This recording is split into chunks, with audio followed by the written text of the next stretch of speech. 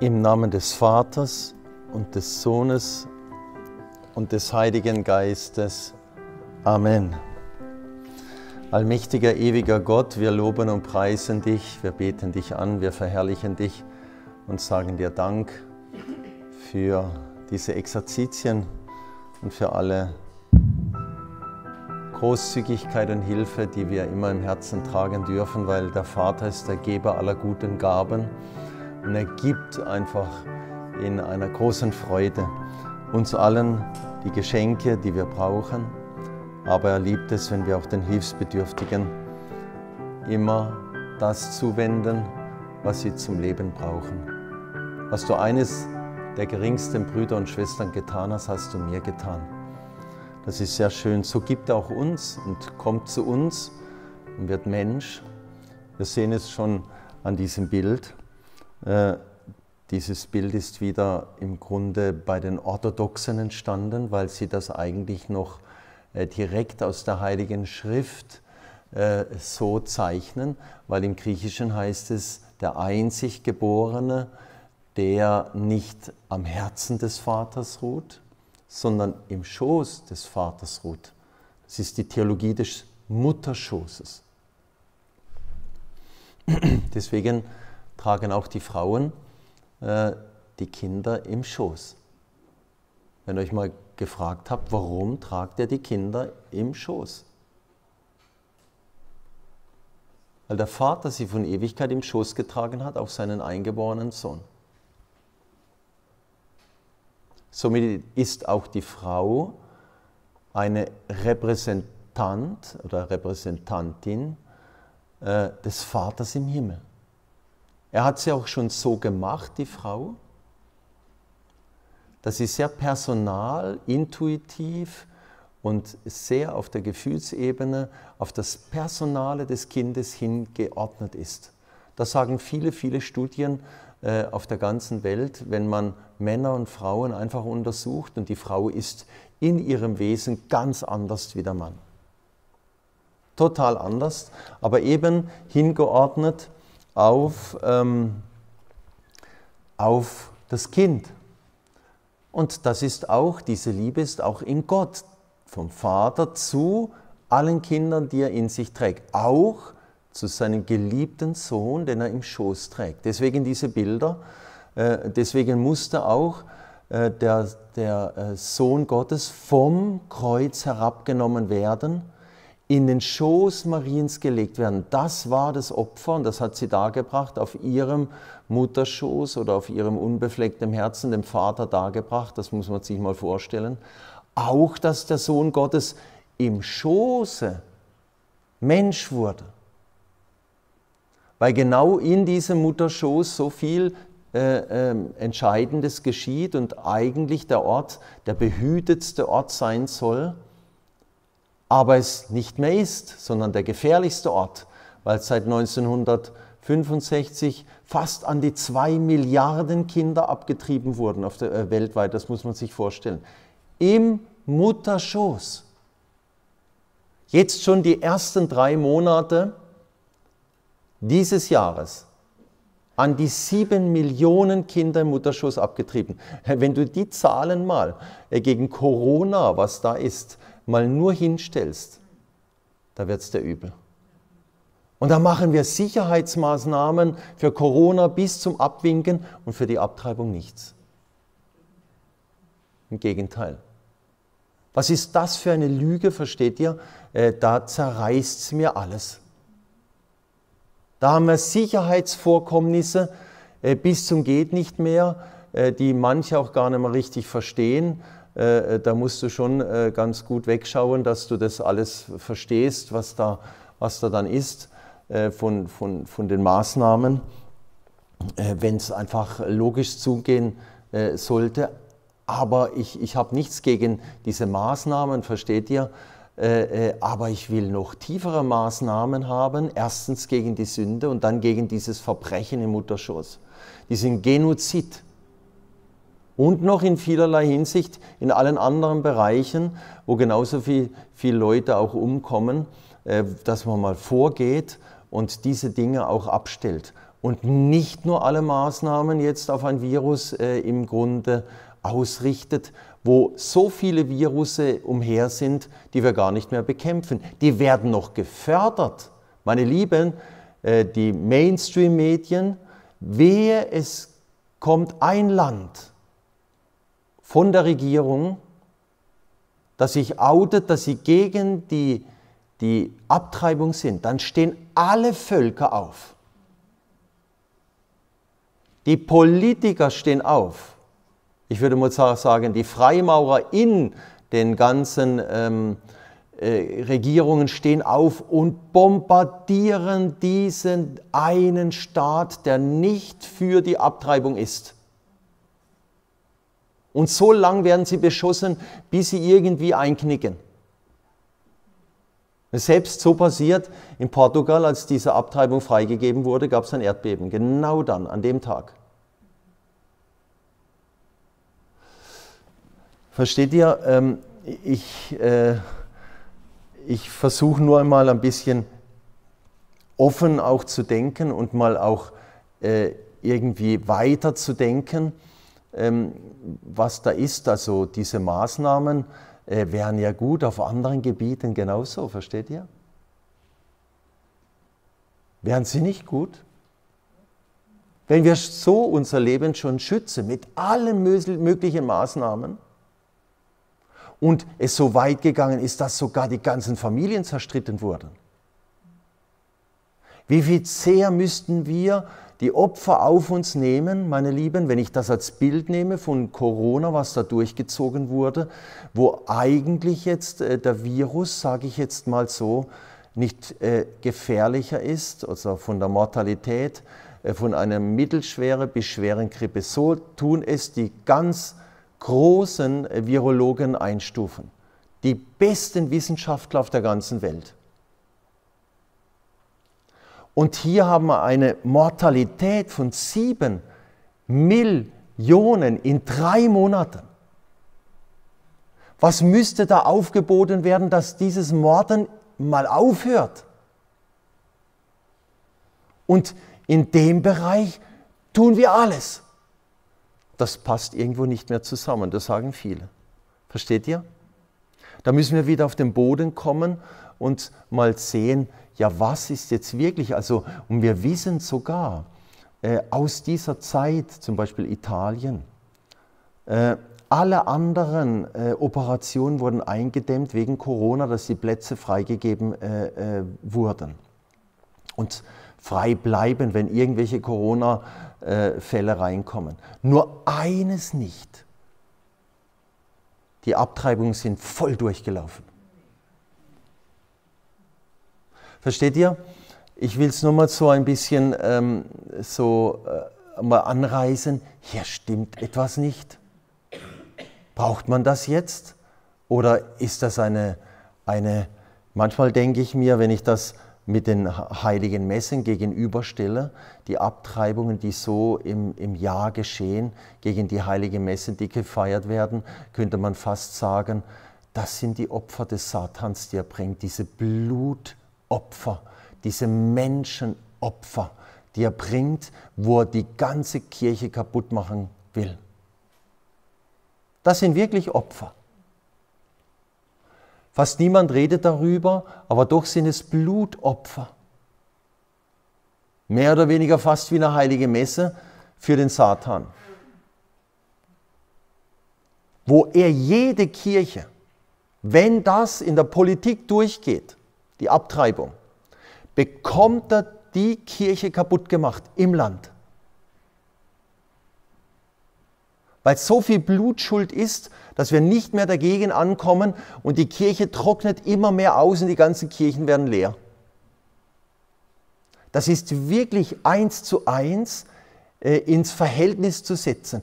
Deswegen stehen sie auf. Ich habe mir oft gedacht, warum stehen die so auf? Wenn ein Land diese Abtreibung nicht will, dann stehen auf einmal alle Völker auf und bombardieren die, diese zusammen, fast wie der Satan aufsteht und sagt, das nicht, dann haben wir ein Land nicht.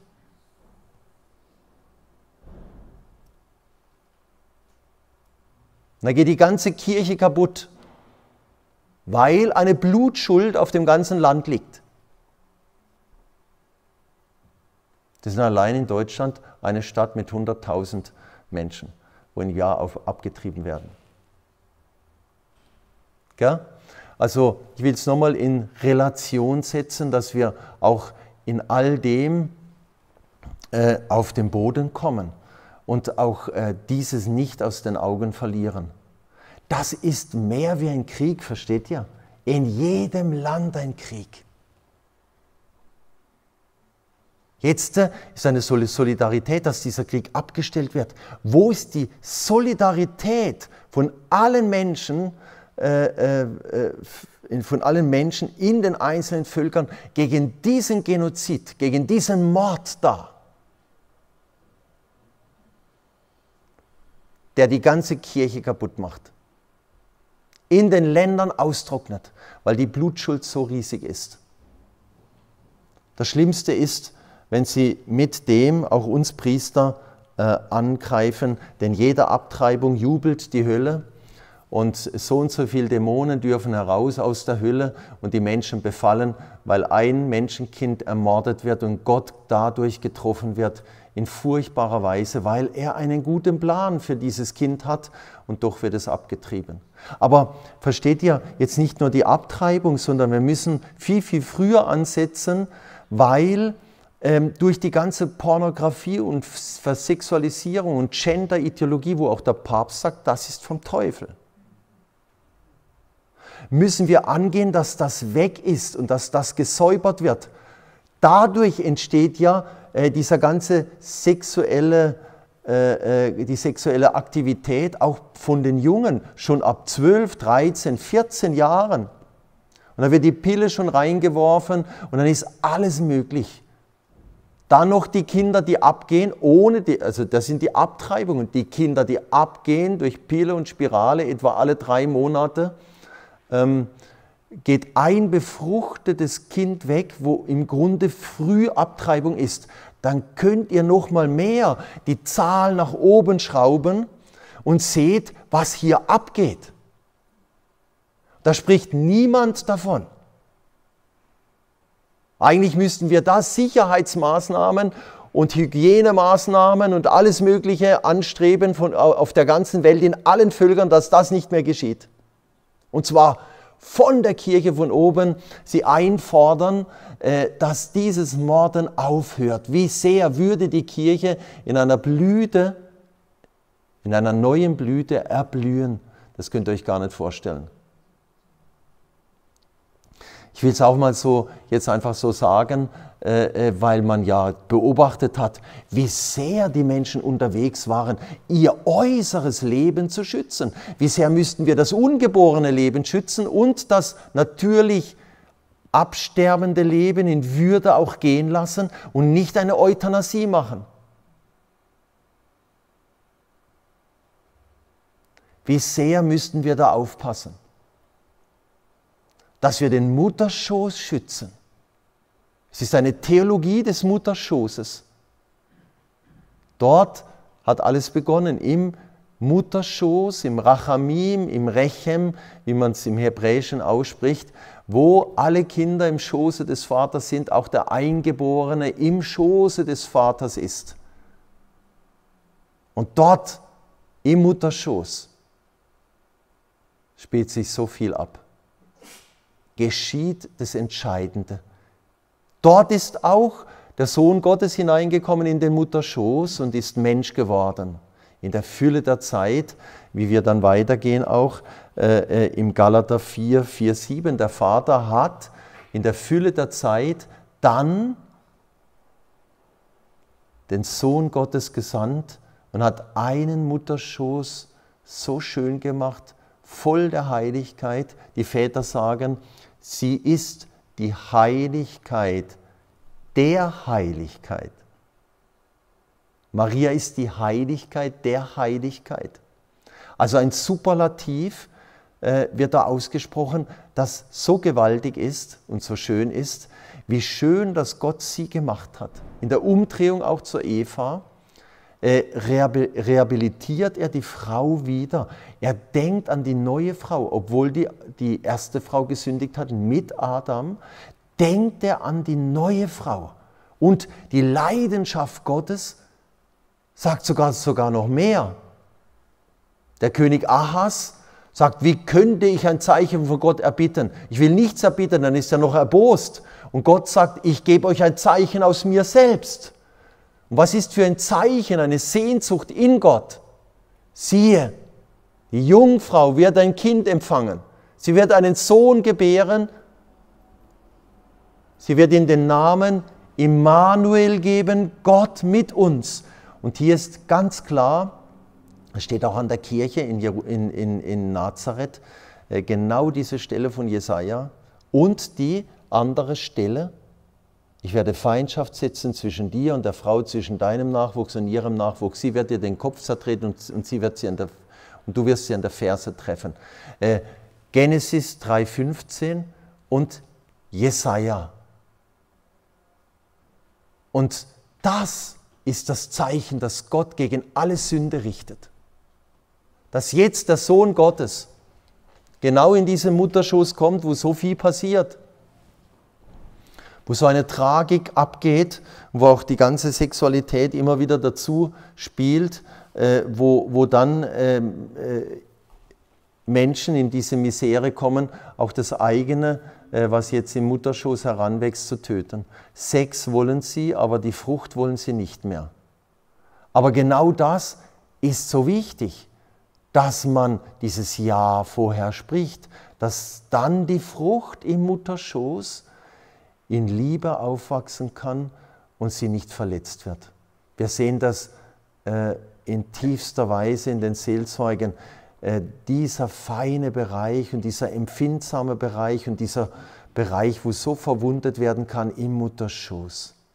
Und dort kommt der Sohn Gottes hin und sühnt auch all die Sünden, weil er der Fürst des Lebens ist, wo dort Tod im Mutterschoß geschieht. Und zwar durch die ganze Menschheitsgeschichte. Es sind jetzt wirklich an die zwei Milliarden Kinder, die abgetrieben werden. Wie sehr musste dort der Fürst des Lebens in diese Mutterschoß hineinkommen? Und hat alles wieder gesühnt. Und wir beten auch oft in den Heilungsgebeten, dass der Mutterschoß, wo dieses viele geschieht, durch äh, Verhütungsmittel, durch Pille danach, durch Abtreibungen, dass nur der Mutterschoß Mariens diese Zeit und der Fürst des Lebens, der in Mutterschoß Mariens ist, das heilen kann.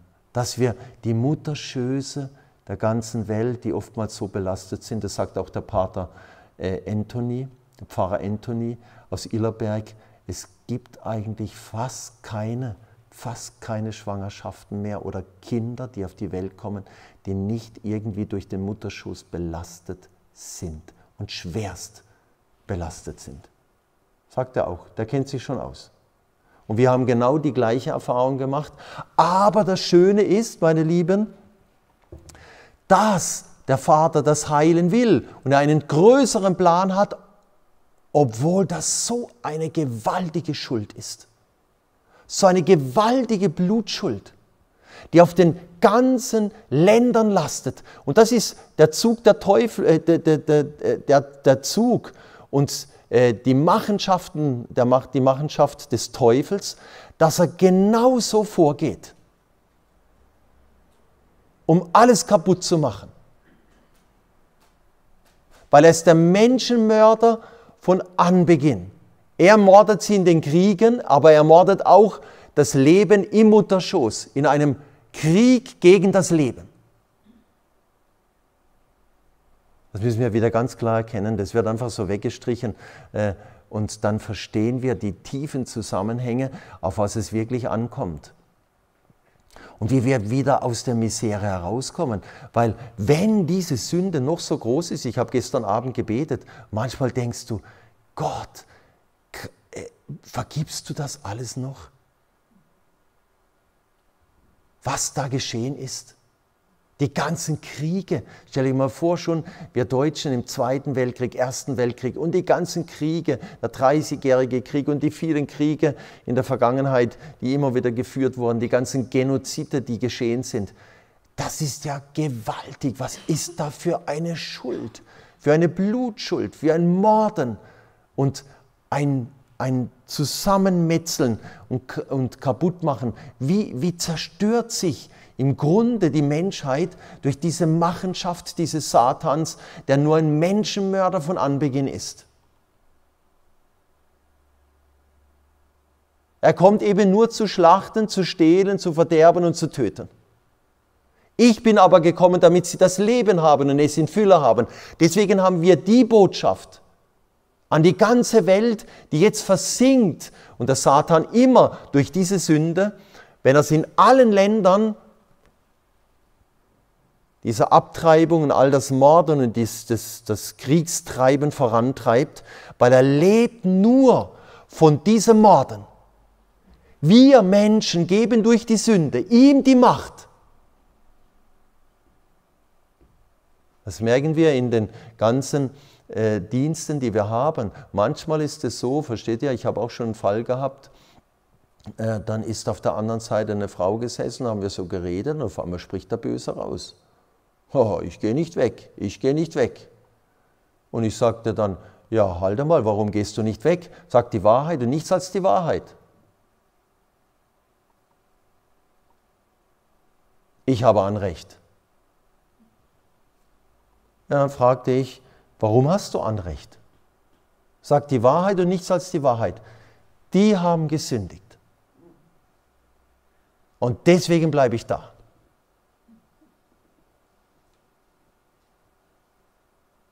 Deswegen bleibe ich da. Die haben gesündigt.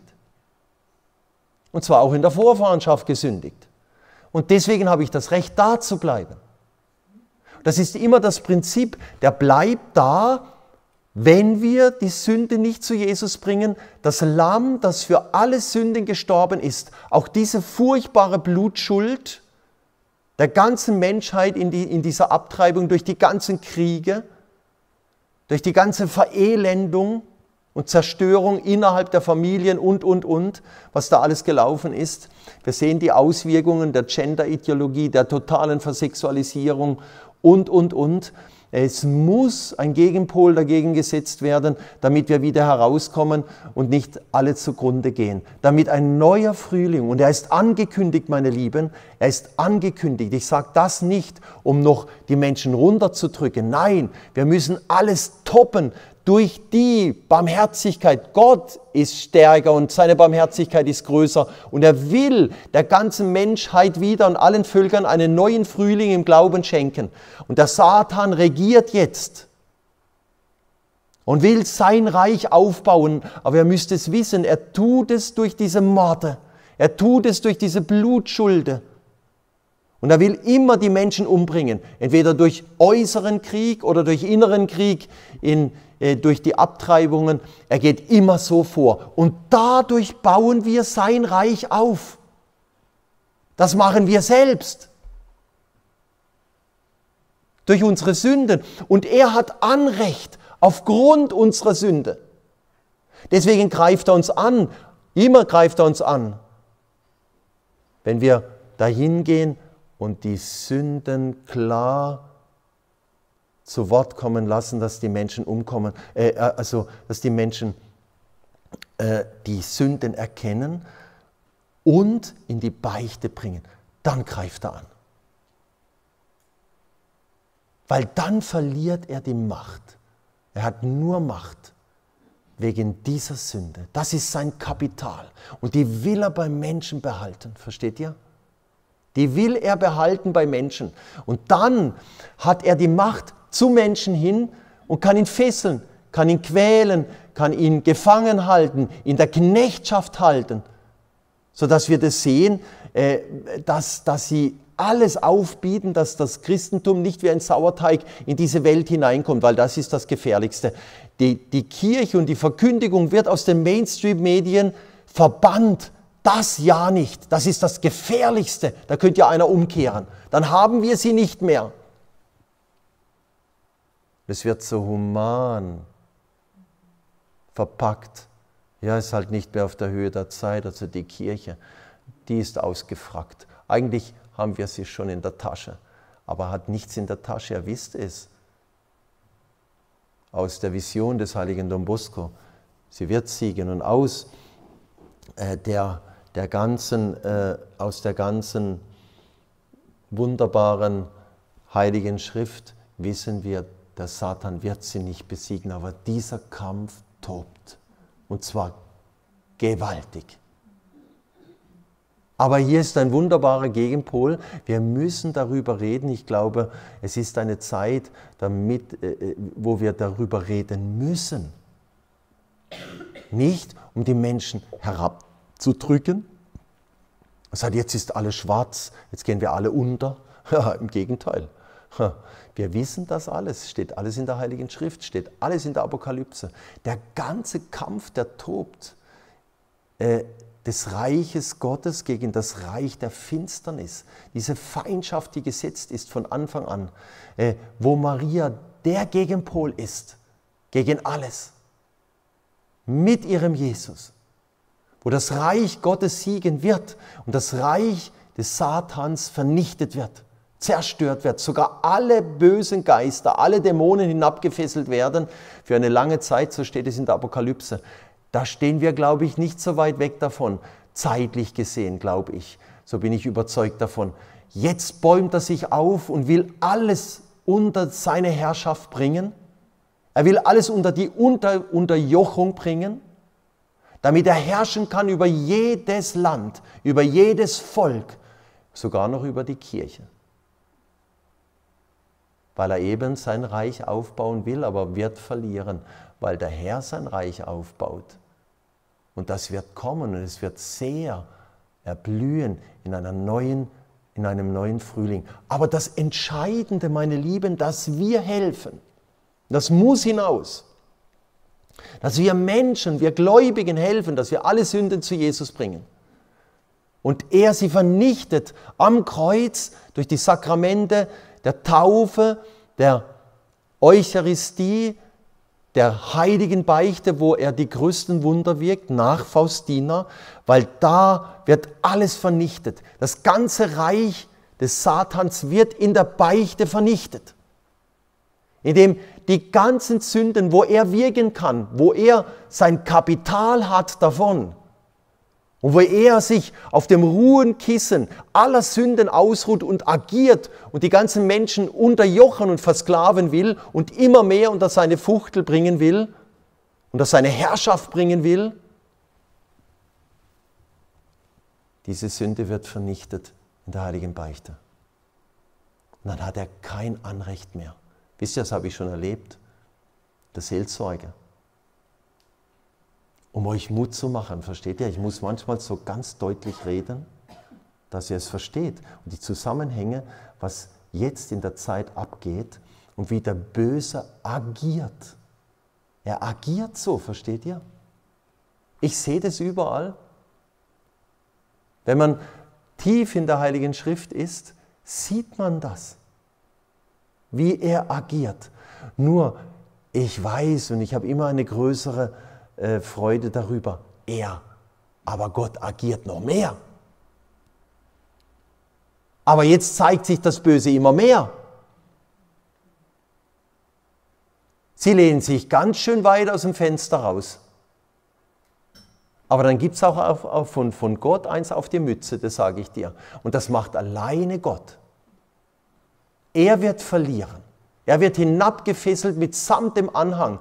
Und hier wird ein Friedensreich auch geschenkt werden, wie es heißt, wo der Wille Gottes, so sagt Don Bosco, überlegt euch mal, er sagt, bis in 150 Jahren wird die Welt die größten Missionare gesehen haben, die ganze Kirche wird erneuert und alle Völker, Sprachen, Rassen, Nationen wird in die eine Kirche Gottes eintreten.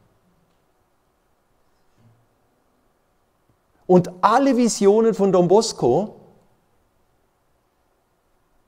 sind eingetroffen. Und das wäre bis 2032. Da hat die ganze Welt die größten Missionare schon gesehen. jetzt könnt ihr euch vorstellen, der Satan wird bald hinabgefesselt. Der ist verrückt. Der will alles mitreißen. Er kämpft. Seht ihr es nicht? Aber auch Gott kämpft, weil er ist größer und wir wissen, Maria wird der Schlange den Kopf zertreten. Deswegen ist es schön, dass der, Vater, der Heilige Vater auch die ganze Welt dem unbefleckten Herzen wiedergeweiht hat, gell? besonders die Uk Ukraine und Russland. Und dass wir uns immer persönlich dem unbefleckten Herzen auch weihen. Und er jetzt sogar noch nach Russland gehen will. Der Papst, habe ich jetzt gehört. Er will mit dem Putin reden. Wunderbar. Und er nimmt auch Maria mit. Da müssen wir beten, versteht ihr? Es sind apokalyptische Zeiten im Moment da, äh, aber wir müssen auch mal sehen, wie der Böse agiert. Und da müssen wir mit Entschiedenheit äh, gegen die Sünde kämpfen. Weil das, da spielen wir dem Bösen die Macht in die Hände. Er hat Macht wegen der Sünde und die Sünde muss vernichtet werden. Im vierten Hochgebet heißt es, bis die ganze Verderbnis der Sünde zerstört ist, vernichtet ist. Das kann nur alleine Gott. Versteht ihr? Das kann nur alleine Gott. Und diesen Plan setzt Gott ganz gezielt gegen diese Machenschaften des Bösen. Ich, muss, ich wundere mich immer wieder und ich sage es euch, ich muss kämpfen und sage, Herr, deine unendliche Barmherzigkeit ist größer. Wie all diese Sünde, die wir manchmal so tief auch in den Beichtstühlen hören. Ey, du bist noch größer, du bist noch größer, du bist unendlich größer. Aber wir müssen diese Sünde zu Gott bringen. Das ist unsere einzige Chance. Und das wird auch geschehen, versteht ihr? Das wird geschehen sogar, so ist es angekündigt, das steht sogar in der Apokalypse drin, er wird die Völker schlagen mit dem, mit dem Schwert seines Mundes. In seinem Wort werden alle Völker anscheinend in einem kleinen Gericht erkennen, wie sie vor Gott stehen. Das ist angekündigt. Äh, sogar beim Matthäus, wenn ich jetzt ein bisschen apokalyptisch rede, das Zeichen des Menschensohnes wird am Himmel erscheinen und die Völker der Erde werden wehklagen. Was? Wie, wie denn das? Doch, sie werden auf den schauen, den sie durchbohrt haben. Alle Völker werden ihn sehen und alle Sprachen, Rassen, Nationen werden erkennen, dass der eine wahre Gott, der Vater, der Sohn und der Heilige Geist ist. Und das wird in kurzer Weise aufgerichtet in den Seelen, und zwar in allen Sprachen, Rassen, Nationen. Das bekommt jeder Mensch als gratis äh, kleines Gericht. Nicht so, wie es angekündigt ist mit der Warnung da, dem Buch der Wahrheit, äh, lest da ja nicht drin. Das ist eine, eine äh, Verführerin hoch drei, das ist eine PCR-Managerin, äh, Mary Divine, Divine Mercy. Ähm, das ist schon entlarvt. Äh, da stehen ja gewaltige Dinge drin. Weißt du, der Teufel arbeitet mit 95 Prozent Wahrheit, aber die 5 Prozent, da biegt er alles um. Wir bleiben bei der Heiligen Schrift. Dort steht es auch. Sehr kurz. Gott ist, Gott ist immer sehr kurz, aber präzise. Lest da nicht drin. Es ist ja schon eine Lüge in sich, dieses Buch. Äh, welches Buch darf sich alleine die Wahrheit nennen? Die Heilige Schrift. Merkt ihr, eine größere Perversion der Heiligen Schrift, der Wahrheit kann es wohl nicht geben. Und sie, sie tun reihenweise reinfallen, die frömmsten Seelen. Oh, da steht's drin. Und dann muss man sie abtrennen. Wir müssen sie abtrennen davon. Belastet ohne Ende. Und dann werden sie noch äh, wirklich im, im ganzen Geist verdreht und glauben noch, äh, der Papst ist ein Antichrist oder der größte Antichrist oder was weiß ich nicht, alles, was da drin steht. Äh, ich habe es vor Jahren mal selbst von ganz gläubigen Leuten, versteht ihr, haben sie angerufen und dann sind wir durchgegangen und dann sind wir in die Heilige Schrift und habe hab ich schon fünf Fehler gefunden, theologische Fehler, nur in einer Botschaft.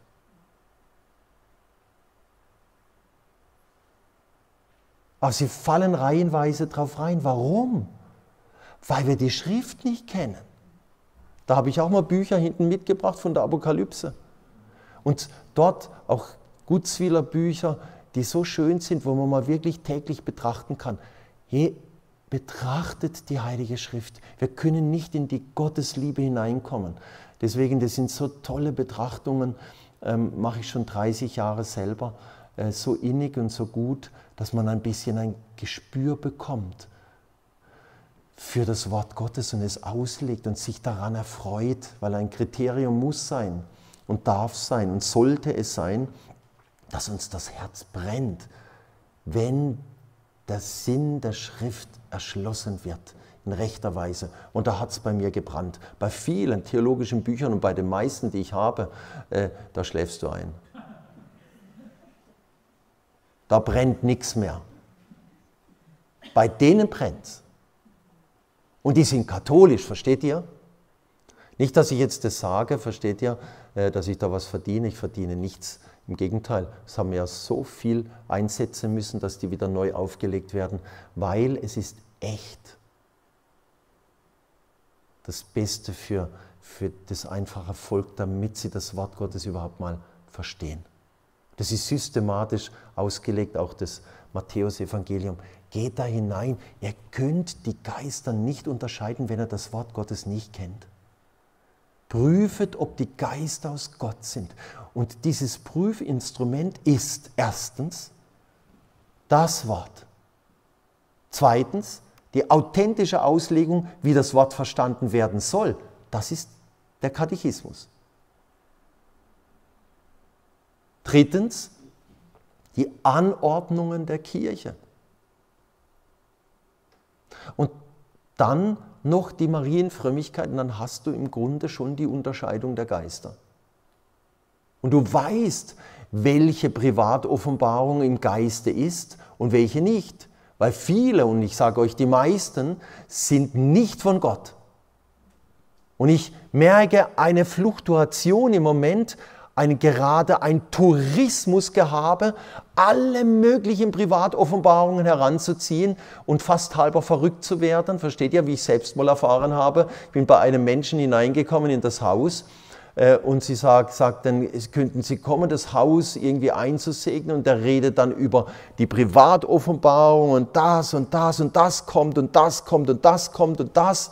Und dann habe ich gedacht, naja, ist ja gewaltig, ja, was hast du denn da im Schrank? Da war der halbe Schrank voll mit Pri Privatoffenbarungen, aber voll gestopft, ohne Ende. Und ich fragte nur eines, wo hast du die Heilige Schrift? Oh, das war ein Problem. Das war ein Volltreffer. Oh, und dann überlegte er, wo hat er die Heilige Schrift? Auf einmal ist er, hat er umgedreht, die Treppe hochgerannt, brom, brom, brom, brom, die Treppe hoch und dann hat es gepoltert und dann habe ich alle Schranktüren gehört, wo er geöffnet hat und gesucht wie ein Wilder da oben. Das war ein, äh, so ein Haus, wo, wo, wo, wo man alles gehört hat, versteht ihr? Und dann ist er gekommen, freudestrahlend, ja, ich habe sie gefunden. Noch im Schober drin. Ich zog die Heilige Schrift heraus und habe aufgeschlagen und jedes Blatt hat noch am anderen geklebt. Wisst ihr, dann könnt ihr nie, wenn das so ist, die Strömung, was da draußen ist, unterscheiden. Das können wir nicht. Wir werden auch nicht gerettet durch die private Offenbarung. Ich habe nichts gegen sie. Thomas von Aquin sagt, verachtet die Privatoffenbarungen nicht, weil in den Guten, die die Kirche bestätigt, können wir tiefer das verstehen, was in der Heiligen Schrift als Schatz liegt. Wie jetzt zum Beispiel die Barmherzigkeit durch Faustina, wie die Herz-Jesu-Verehrung durch Margarita, Maria Alacoque. Ja? Diese tiefen Dinge, die in der Heiligen Schrift zugrunde liegen, die werden dann näher erklärt, damit wir sie wieder finden. Für das sind die Privatoffenbarungen da. Gell? Und dann sind sie richtig. Und wir dürfen sie nicht verachten, aber wir prüfen sie. Und prüfen können wir sie nur anhand des Wortes. Und dass die Kirche dann darüber urteilt. Aber da ist ein Tourismus im Moment, dass es gerade zu spät ist. Ja? Und wenn ich dann frage, ja, was weißt du von der Heiligen Schrift? Oh, oh, oh, da kommt nicht so viel raus. Versteht ihr? Ihr werdet nur gerettet durch das Wort Gottes.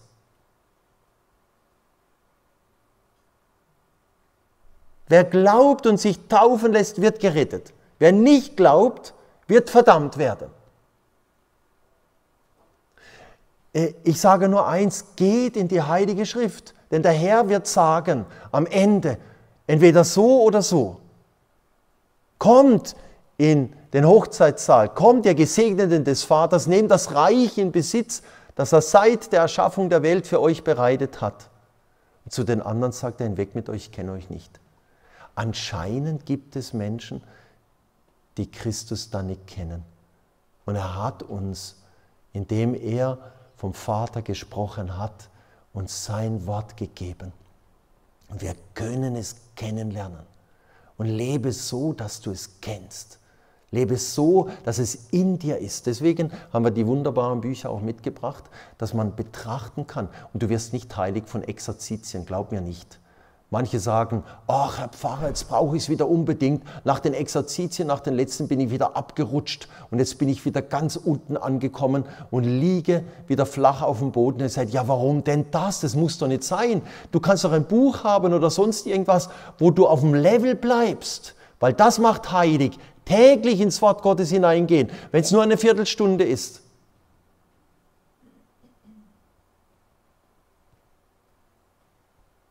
Aber das tut den Menschen einfach oft einmal große Schwierigkeiten bereiten.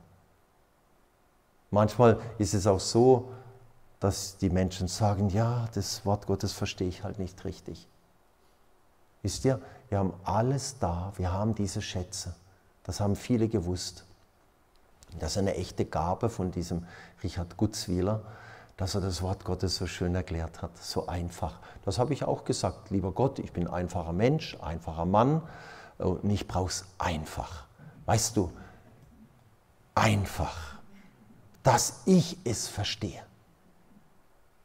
Und er hat es beantwortet.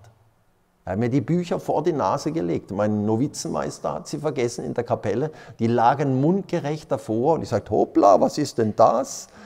Und dann habe ich eine Auslegung gelesen. Das ist es. Wo gibt es diese Bücher? Überlegt einmal, manchmal geht Gott dann so weit, jetzt durfte ich sie alle wieder rausbringen und neu auflegen. Das ist eine einzigartige Gabe von dem, dass er das so einfach machen könnte. Ich wüsste fast niemand und ich weiß, ich kenne mich schon gut aus in der theologischen Welt. Das ist wirklich so in der Tiefe einzusiedeln bei Benedikt, wenn er diese Auslegungen schreibt. Beim Papst Benedikt, so tief, aber so einfach, noch einfacher wie Benedikt. Wisst ihr, das ist das gute Futter. Dann dürfen wir nicht die, das Futter zertreten und kaputt machen, sondern dieses Futter, dass der Mensch auf gute Weide geführt wird. Und dieses Futter, ah Mensch, du, diese Weide, da schmause ich, du, das Wort Gottes hinein bis zum Anschlag. Aber volle Kanne. Und da, da tue ich mich voll mit diesem Wort Gottes jeden Tag meinen Seele nähren, denn nicht vom Brot allein beim Frühstück, wir haben es ja gerne, oder das Frühstück? Ja, ohne Frühstück geht nichts, gell? Und mal den Kaffee, sonst läuft die Maschine nicht. Na? Manche haben es ja nicht mal, gell, das Essen. Wir sehen es ja. Wie viele Projekte können wir unterstützen, äh, wo sie nicht mal das Essen haben? Ja? Und, und dann ist es wichtig, die Seele zu nähren dass das Reich Gottes kommt und wir von den Sünden wegkommen. Oh, was für eine Blutschuld. Wir müssen dagegen kämpfen. Deswegen sieht so schlimm in der Kirche aus. Wisst ihr, das kann ja gar nicht anders sein. Deswegen ist alles kaputt gegangen und, und die Kirche frönt im Grunde dem Zeitgeist, bietet sich an, Schal gewordenes Salz, nicht mehr salzig, weil wir das Wort Gottes nicht mehr haben, weil das ist das Salz der Erde, das Wort Gottes. Was machen dann die Leute mit, diesem, mit dieser Kirche, wenn sie sich anbietet dem Zeitgeist und überhaupt nichts mehr fast sagt über die Sünde? Es wird zertreten von den Leuten, kaputt gemacht, zertreten, weil das Salz den Geschmack verloren hat. Und salzig bleibt es, wenn du beim authentischen Wort bleibst. Das Fleisch geworden ist in der Jungfrau Maria. Deswegen heißt es hier, das habe ich schon ganz schön weit ausgeholt, äh, Galater 4, 4, 7, als aber die Zeit erfüllt war, sandte Gott seinen Sohn geboren von einer Frau und dem Gesetz unterstellt, damit er die freikaufe, die unter dem Gesetz stehen, also unter dem Gesetz der zehn Gebote. Und da lastet eine Anklage auf uns, weil wir das Gebot Gottes gebrochen haben. Schaut mal in die ganzen Jahrhunderten hinein seit Christus. Was ist da gelaufen? Nur einer kann uns freikaufen von dieser furchtbaren Blutschuld, die selbst ja auch vom Krieg auch auf uns Deutschen lastet. 60 Millionen. Aber das ist ja nichts gegen das, was im Mutterschoß passiert. Das sind Kriege, die da abgehalten werden. Und das ist nur ein Bereich. Das geht ja dann in allen Bereichen weiter. Ihr müsst euch mal vorstellen, es sind alleine acht Millionen Frauen in Deutschland, die involviert sind durch die Abtreibung. Exkommuniziert, das heißt, sie, sie haben sich selbst aus der Kirche ausgeschlossen. Da kommen nochmal acht Millionen Männer dazu, äh, die gehören immer dazu, sonst gibt es keine Kinder. Ja? Dann sind jene ausgeschlossen noch und exkommuniziert auch äh, exkommuniziert, das macht nicht die Kirche, sondern der Mensch selbst aufgrund der Tat, die geraten haben, Freundinnen, Eltern, Omas, Opas, die gesagt haben, lass es wegmachen. Die Männer, die abgehauen sind, versteht ihr? Das Kind gemacht haben, aber dann sind sie davon. Man kann wirklich von ausgehen, dass wir über 20 Millionen exkommunizierte Leute haben, über, weitaus, in Deutschland nur alleine. Das richtet das an und es wird nicht mehr verkündet. Deswegen hat auch der Papst Franziskus jetzt es freigegeben unter seiner Warte, dass wir Priester, wenn die Frauen kommen und sie brauchen eine ganz tiefe Seelsorge, sie sind so verwundet, weil es der Mord in ihnen geschehen ist. Der Mord ist im Menschen geschehen, versteht ihr? Was das anrichtet in der Frau, äh, das könnt ihr euch gar nicht vorstellen. Sie können sich oft selbst nicht vergeben und hassen sich und denken, das Kind ist so wütend auf mich und liebt mich nicht mehr. Sie quälen sich. Sie brauchen eine ganz gute Seelsorge, weil dieser Mord innen drin passiert ist. Ist genauso, wenn durch die Pille, Spirale und so weiter ständig der Tod in der Frau passiert. Wisst ihr, was dann passiert? Die Seele ist tot, die Gefühle verschwinden alle. Das haben wir.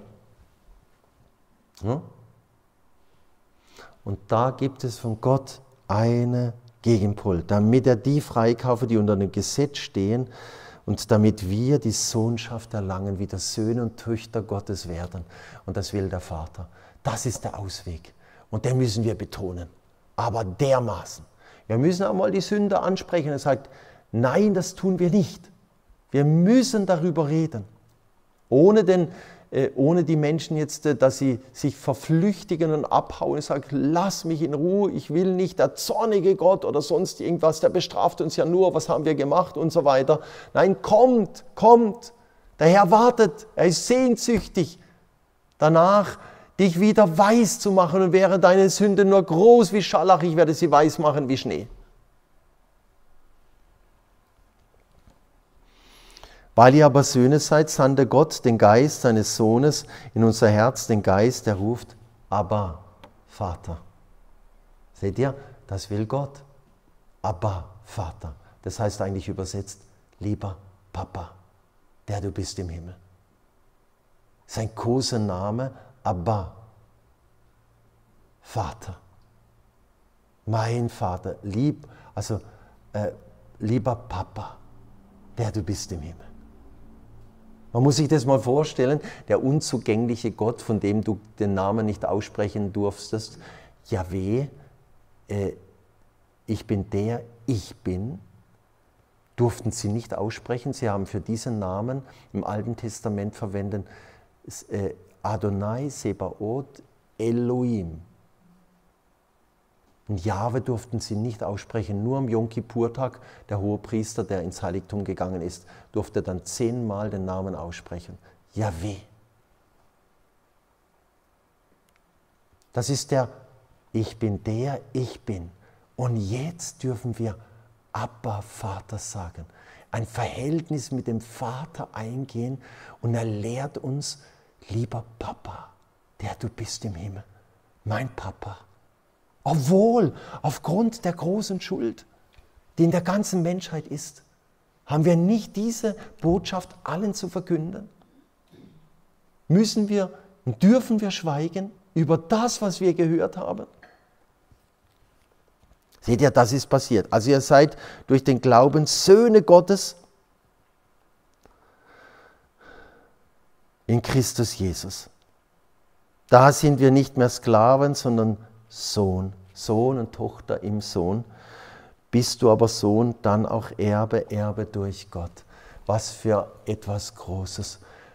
Das hat er mit der ganzen Menschheit vor. Und je mehr, dass sie sich in der Sünde verstrickt, je mehr hat er es vor, weil er es nicht mehr erträgt. Und er wird uns rufen. Er wird in die Seelen hineinrufen. Da steht da, im Wort Gottes. Heiliger Geist wird über alles Fleisch ausgegossen. Das fehlt noch irgendwo. Über alles Fleisch wird es ausgegossen. Ich freue mich schon darauf, wenn der Herr das tut und jedem Menschen zeigt, wie er vor Gott steht. Das ist ein Ereignis, wo das Reich Gottes auf einmal aufgebaut wird in den Seelen. Da ist auch prophezeit, dass wir Priester dann nicht mehr aus dem Beichtstuhl kommen. Da werden die Leute das Essen in den Beichtstuhl bringen, wie es mir in, in, in, äh, in Medjugorje geschehen ist. Da haben sie den Pater Leonhard und, und mir die Pizza gebracht. Und weil, wahrscheinlich, weil wir so jämmerlich ausgesehen haben äh, und schon acht Stunden hinter uns hatten, jetzt müssen wir den Kerl mal ein bisschen was zu, zu essen bringen äh, weil sie fast vom Fleisch fallen. Und dann habe ich in die Pizza äh, hineingebissen und der Mensch hat nebendran angefangen zu weinen und sagt, lieber Gott, jetzt kommt sogar die Gnade beim Pizzaessen. es funktioniert, versteht ihr?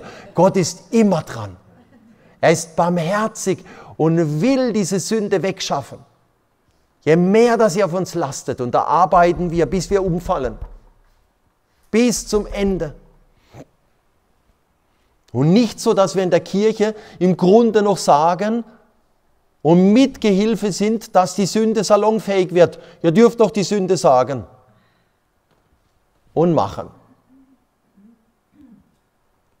Und so dürft ihr kommen in die Kirche. Der Herr sagt etwas ganz anderes im Wort Gottes. Wer zur heiligen Eucharistie geht, unwürdig, Deswegen sind so viele krank. Wir werden nur gesund, wenn wir alle Sünden weghaben. Also dieser Engel, der kommt, dann sind wir Söhne Gottes, denn alle, die sich vom Geist Gottes leiten lassen, sind Söhne Gottes. Denn die ganze Schöpfung wartet sehnsüchtig der Offenbarwerdung der Söhne Gottes, der Söhne und Töchter. Immer wenn von Söhnen oder Sohn gesprochen wird, müsst ihr euch immer mitdenken, Söhne und Töchter. Es ist die Sohnschaft. Wir sind im Sohn. Das ist keine Diskriminierung, sondern das ist echte Theologie. Äh, Sohn und Tochter im Sohn. Und er tut alle an sich ziehen.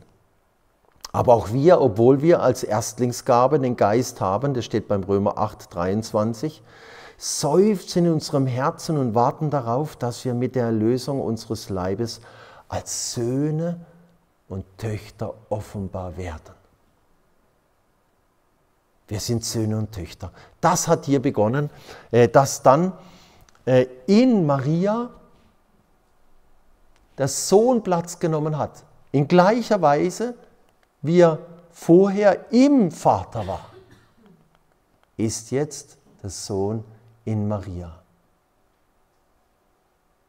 und hat dort im Mutterschoß Platz genommen, um uns die Erlösung zu schenken.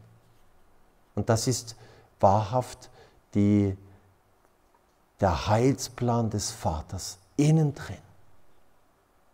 Aber nicht nur in ihr, sondern dass er jetzt kommt und dort in der Krippe liegt, sondern diese Krippe soll auch dein Herz werden. Er ist nicht gekommen, im Tabernakel zu wohnen, hier sondern dein Herz soll der Tabernakel sein, in dem Gott wohnt. Und dann ist er erst zufrieden. Er ist nicht zuerst und er hält es im Grunde nur aus in den Tabernakeln, weil er wartet, dass du kommst, dass du ein Tabernakel des Herrn wirst und eine, ein Tempel des Heiligen Geistes, dass du ein Christusträger wirst.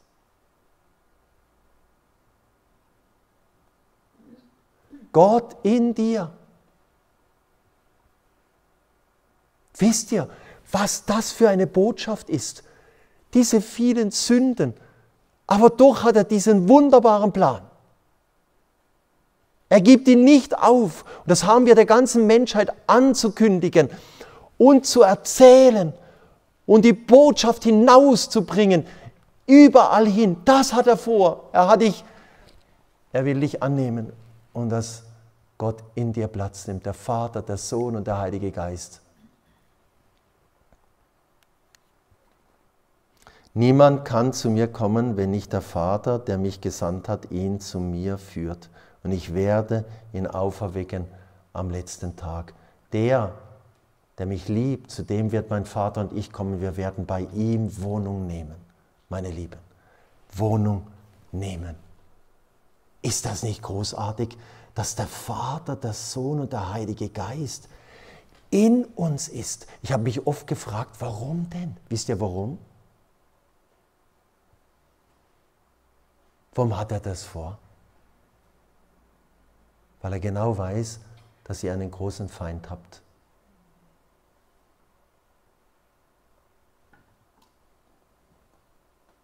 Und jetzt kommt der Starke in euch hinein damit er euch beschützen kann vor dem großen Feind. Denn der, der in uns ist, ein wichtiges Satz bei Paulus, der, der in uns ist, der ist stärker wie der, der in der Welt ist. Dann braucht ihr nie Angst haben, wenn wirklich Christus im Menschen wohnt. Manche haben Angst vor dem Bösen, sie sehen überall das Böse. Dann haben sie so Angst, dass sie nie mehr daran denken. Manchmal war es so, äh, äh, vielleicht in der Seelsorge, dass ich den Menschen gesagt habe, die eine Heidenangst haben. Sogar noch vor dem Bösen, versteht ihr? Überall haben sie das Böse gesehen und sagt, du schau mal in dir, in dich hinein. Wer wohnt denn dort? Ach, habe ich vergessen. Es stimmt ja, da wohnt Jesus.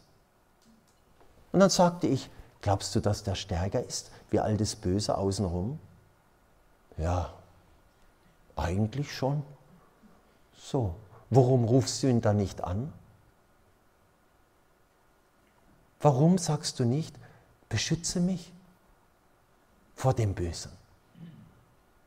Du kannst überall durchgehen, durch belastete Dinge, durch belastete Räume, durch belastete Dinge, weil du hast den Herrn in dir. Und das ist das Allerwichtigste, dass er in dir Platz nimmt und in dir wohnt.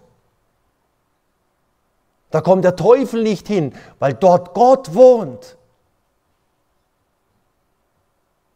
Er kann dich äußerlich angreifen, er kann dich piesacken, er kann alles machen. Aber innen hinein, in den Tempel, in den inneren Bereich der Seele, in dieses Heiligtum, dort wohnt der dreifaltige Gott der Vater, der Sohn und der Heilige Geist. Er hat einen Weg gesucht, oh, der Feind ist so stark, ich muss ihnen helfen. Ich muss in ihre Schwachheit hineinkommen, damit ich sie beschützen kann. Und sie sie nicht fürchten, dass sie mich ständig anrufen, Abba Vater, komm, hilf mir. Der ja alles durchdringt. In ihm leben wir, bewegen wir uns und sind wir.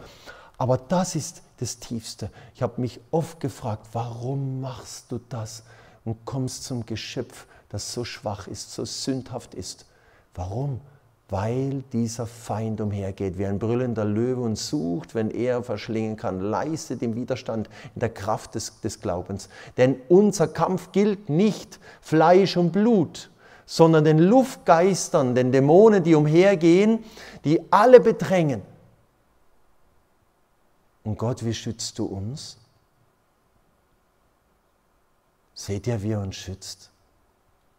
Er kommt selbst in uns hinein. Und wir müssen, je mehr das da außen, die Winde und die Stürme toben, immer auf ihn schauen, der in dir ist. Herr, tu, mach du. Wir sind eine Einheit. Wir sind eine Liebesgemeinschaft. Und du beschützt mich.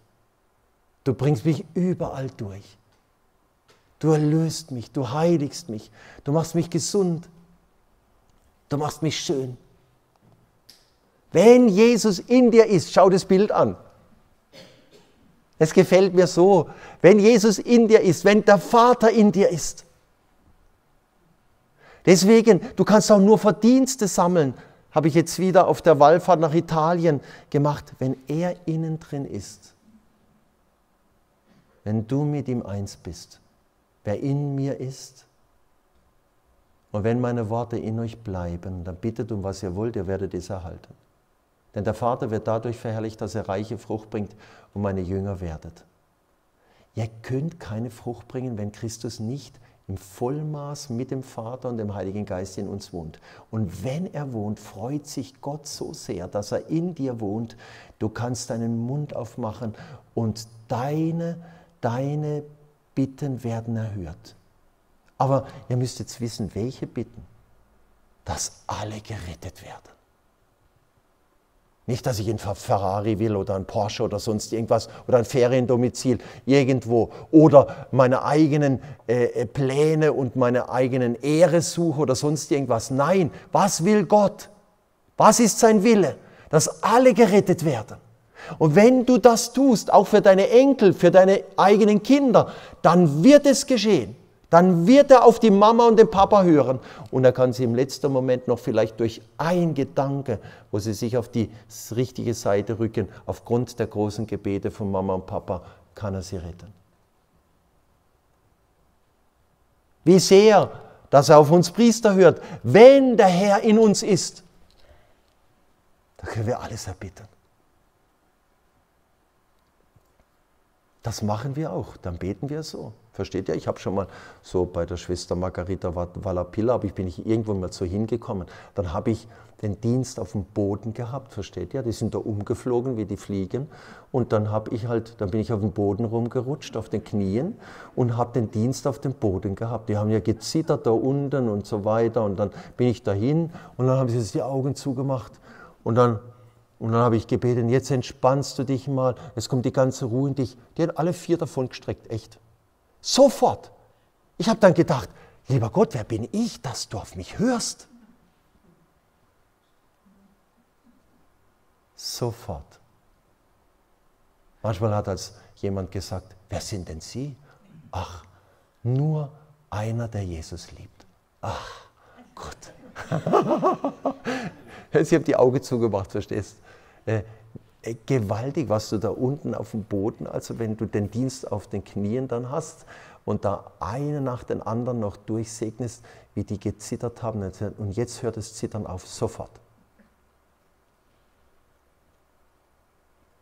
Betet um was ihr wollt, ihr werdet es erhalten. Nur in dieser Dimension, wenn der Herr in dir Platz hat, aber wenn die Sünden weg sind. Merkt ihr jetzt, die ganze Exerzitien sind nur so aufgebaut. Reinigung, alle Sünden weg. Und dann Erleuchtung durch das Wort Gottes und dann wieder Einigung. Einigung, dass er in dir ist. Der Vater, der Sohn und der Heilige Geist.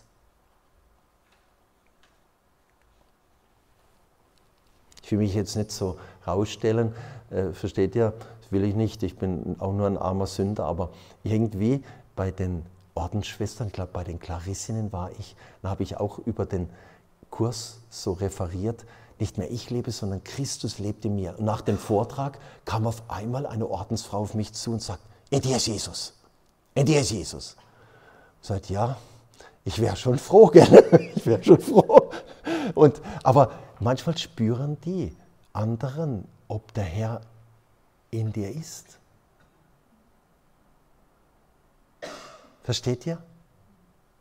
Und das ist das Schöne, wenn der Herr in dir ist. Wenn der dreifaltige Gott, der Vater, der Sohn und der Heilige Geist, der, der im Himmel thront, du hast den Himmel schon in dir. Seht ihr, in Christus, die ganze Kirche, alle, in Christus, alle hat er aufgenommen, den mystischen Leib. Und so sind wir im Vater. Und es beginnt jetzt schon, du bist schon im Vater, du bist schon, weil Christus da oben ist und du in Christus eingegliedert bist. Wo? Zur Rechten des Vaters. Du gehörst schon in den Himmel. Du bist schon beim Vater. Das ist nochmal ausgedrückt hier. Schau mal, da ist sogar Paul VI., seht ihn unten. Christus und in ihm alle drinnen. Komplett. Hier die Braut, die er vor sich erscheinen lässt, ohne Runzeln, Fehler und Schwächen. Makellos soll sie sein. Und in dieser Braut äh, kommen alle zu ihm. Deswegen sagen auch die Väter, in Maria ist schon, hat er sich schon durch die Menschwerdung, indem er die menschliche Natur angenommen hat, sich mit der ganzen Menschheit vermählt. Und am Kreuz noch mehr. Aus seiner Seidenwunde lässt er diese Braut erscheinen und macht sie schön, wäscht sie ab von allen Sünden und schenkt ihr die Gnade, schöne Gewänder, äh, Perlen außenrum bestickt mit den schönsten Diademen und allem Möglichen. So ist doch ein Mensch. Pater Leonhard hat gesagt, wir würden sterben, wenn wir die Schönheit der Seele sehen würden, wie Gott sie durch die Gnade macht. Und so macht er seine Braut schön. Wisst ihr, das Gegenteil, meine Lieben, hört genau zu. Geschieht in der Apokalypse mit der Hure von Babylon. Wo, wo ist sie? Das Gegenbild. Sie sitzt auf dem Tier und das Tier ist Satan. Und die Frau, die wiedergebildet wird, also als Bild, wo die Männer und Frauen in dieser Frau gegenwärtig ist, die eine Hure ist und die, die sich vermählt mit dem Satan, mit allem, was vom Tier kommt. Und sie trinkt den Unzuchtswein der Völker und schlürft alles hinein und sitzt auf dem Tier und vermählt sich mit Satan durch die Sünde. Das sind noch drastische, äh, drastische Bilder, äh, versteht ihr, äh, die gezeigt werden. Das Gegenpol zum Lamm und dort ist es das Tier. Und hier die Frau, die Kirche und Maria und dort ist es die Hure von Babylon, die auf dem Tier sitzt und sich mit dem Tier vermählt. Eins wird mit Satan. Und hier ist die Einswerdung des Menschen mit Gott.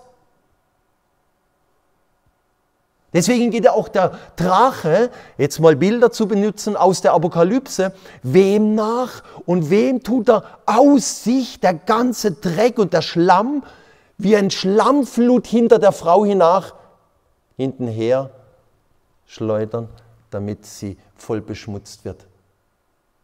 Was kommt aus dem Tier heraus? Dreck, Schmutz, Vernichtung, Zerstörung. Und was kommt aus dem Lamm heraus? Das Leben. Wir können es gar nicht mehr deuten, oder? Wisst ihr die Stellen aus der Apokalypse? Hier ist alles klar. Hier liegt alles offen. Wer redet darüber?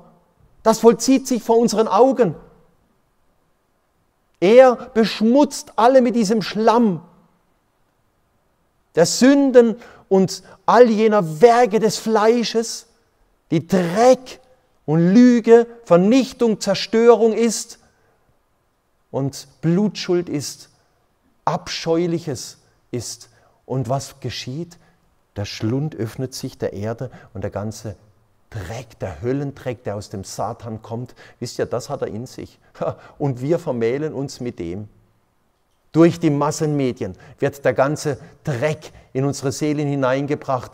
Durch die Filme, durch äh, die Pornografie, durch die schlüpfrigen Filme und die Gewalt, die Vernichtung und Zerstörung, der Krieg, den in den ganzen Filmen in Amazon und im Netflix laufen und die Seelen werden zugeschüttet mit dem ganzen Dreck, vollgefüllt bis zum Rand.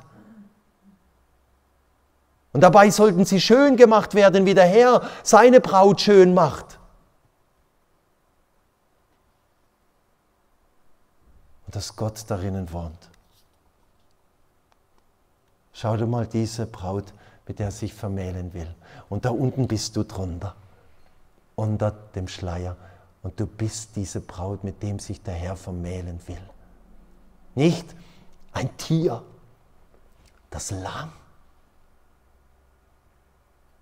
das sein Herzblut gibt, sein Leben gibt, damit du lebst und der Satan reißt dich in den Tod. Er vernichtet dich. Er zerstört dich. Er bringt dich auch in den zweiten Tod, in den Feuertod der Hölle hinab. Ich erzähle jetzt nichts, was nicht in der Schrift steht, versteht ihr? Ich bin immer ganz eng am Wort Gottes. Und das ist drastisch, was sich hier vollzieht. Und uns muss, müssen die Augen geöffnet werden, was da draußen geschieht. Und ich kann es nur einschätzen. Ich kann es nur in der Weise erkennen, wenn ich im Wort Gottes bin. Weil diese beiden Pole gibt es. Was anderes gibt es nicht. Was anderes gibt es nicht. Seht ihr? Und der Herr wartet, dass du dich als Braut und du bist eingeladen, seit der Herr da war. Du bist eingeladen zur Hochzeit.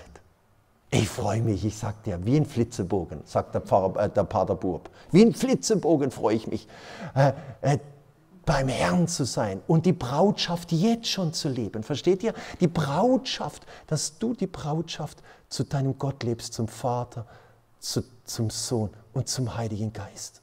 Du bist die Braut. Und du darfst dich mit ihm total vermählen. Er in dir und du in ihm vermählen. Und das will der Vater.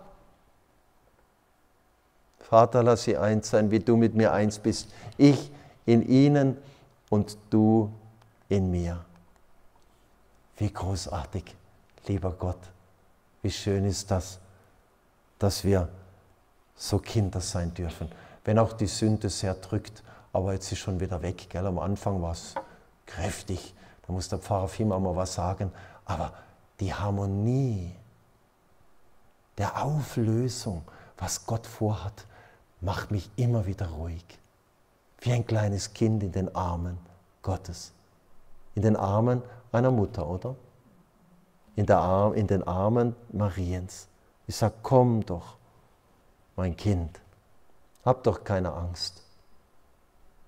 Hab doch keine Angst. Es geht gut aus. Er ist der Stärkere. Er hat gesagt, mir ist alle Macht gegeben. Der Satan meint zwar ein bisschen Macht da zu haben und blustert sich auf und er sagt ja, er ist nur wie ein brüllender Löwe, aber kein Löwe. wie ein brüllender Löwe brüllt er, aber er ist eben kein Löwe. Und der einzige Löwe, meine Lieben, ist der Löwe von Juda und der ist in dir. Und sage auch mal, Du Löwe, mein Löwe, den ich über alles liebe, steh mal auf und beiß den Kerl da draußen kaputt. Um mich herum. Dann jammern wir rum, oh lieber Gott, warum lässt du das alles zu? Und, sagt, und Jesus in dir sagt, und ich bin ja da, warum sagst du zu mir nichts? Ich bin ja arbeitslos in dir.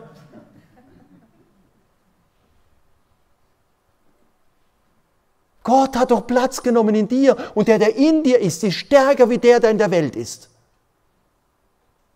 dann hätten, hätte Pater Leonhard die Hälfte zu tun im, im Segensdienst, glaube ich. Das wäre gar nicht so schlecht, gell? Das wäre gar nicht so schlecht.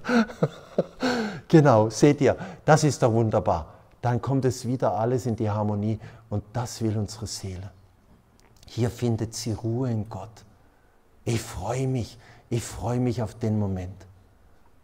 Alles Arbeiten ist dann zu Ende. Und dann dieses Ausruhen. Kein Auge hat es gesehen, kein Ohr hat es gehört, in keines Menschen Herzen ist es gedrungen, was der Herr denen bereitet, die ihn lieben, die für ihn gearbeitet haben, für sein Reich. Und das machen wir, weil er auch für uns gearbeitet hat und hat uns aus dieser Patsche herausgeholt, aus dieser Knechtschaft des Satans, aus der Knechtschaft dieser Welt, aus der Knechtschaft des Todes hat er uns befreit und hat uns zu Söhnen und Töchtern, Freien, denn wir sind befreit. Und wenn der Sohn befreit, der ist frei. Eine Würde zurückgegeben, die alles übersteigt. Die Sünde knechtet uns.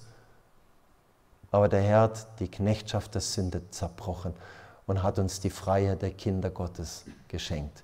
Im Namen des Vaters und des Sohnes und des Heiligen Geistes. Amen.